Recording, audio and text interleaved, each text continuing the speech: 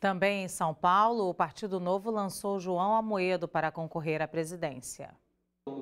O Partido Novo se reuniu na Câmara Americana de Comércio, em São Paulo, e confirmou o nome do empresário João Amoedo como candidato à presidência. Formado em engenharia e em administração, foi membro do Conselho de Administração do Unibanco e do Itaú BBA.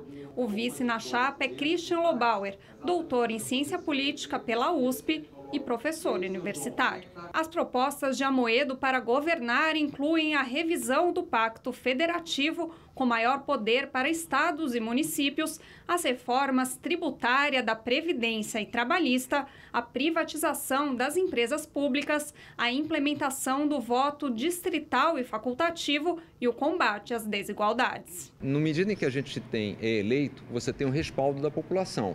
Então vai ser com esse respaldo que a gente vai negociar com o Congresso. Obviamente, fazer política é negociar, definir prioridades, mas diferente do que é feito hoje, sem o tomar lá da cá.